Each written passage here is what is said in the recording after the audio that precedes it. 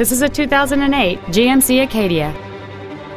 It features a 3.6 liter six cylinder engine and an automatic transmission.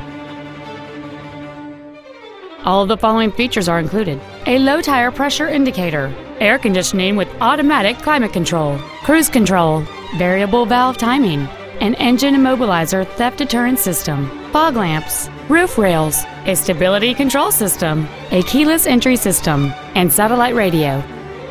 This GMC has had only one owner and it qualifies for the Carfax buyback guarantee. This automobile won't last long at this price. Call and arrange a test drive now.